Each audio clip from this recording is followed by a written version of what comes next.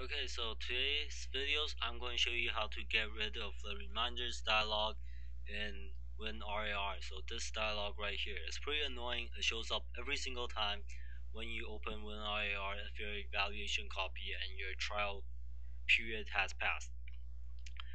So how are you going to do this?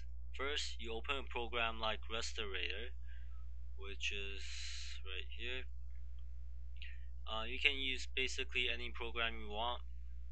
I choose Restorator because I find it easier to use.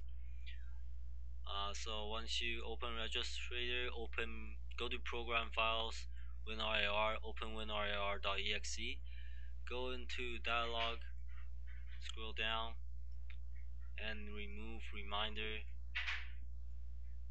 Then go into Strings, Control F, type in evaluation find it, change the name,